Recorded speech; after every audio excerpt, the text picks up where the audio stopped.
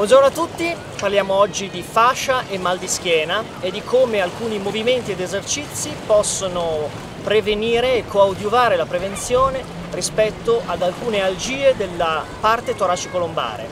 La diagnosi del mal di schiena può essere variabile, ci sono tantissime cause che possono essere sia traumatiche sia riguardano problematiche alle vertebre o problematiche strutturali ma la maggior parte dei mal di schiena sono dovuti a problematiche fasciali ed è su questo argomento che noi ci focalizziamo adesso e rispetto a questo argomento abbiamo proposto degli esercizi e dei movimenti specifici.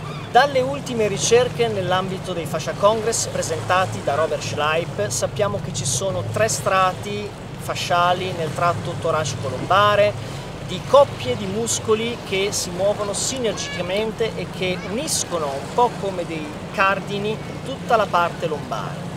Il primo strato più superficiale è formato dal gran, dai grandi glutei e dal gran dorsale. Il secondo strato, un po' più profondo, è formato dai tendini della gamba fino agli erettori della spina o i paravertebrali e infine il terzo strato un po' più profondo è formato dai due trasversi che arrivano ai processi spinosi.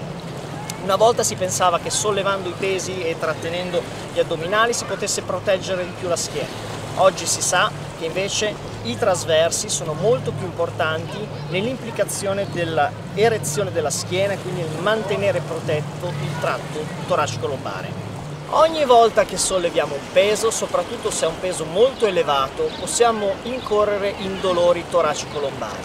Dobbiamo per questo allenare la nostra fascia ad essere più elastica, a permettere alle fasce di scorrere meglio tra loro e sviluppare maggiore propriocezione e elasticità delle fasce.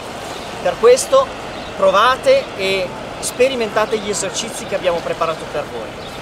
Ricordo che anche lo psoas è molto importante perché originandosi nel tratto toracico-lombare e inserendosi nel trocantere ha comunque una funzione importante sia posturale sia nella rigidità e nel mantenimento del tratto toracico-lombare.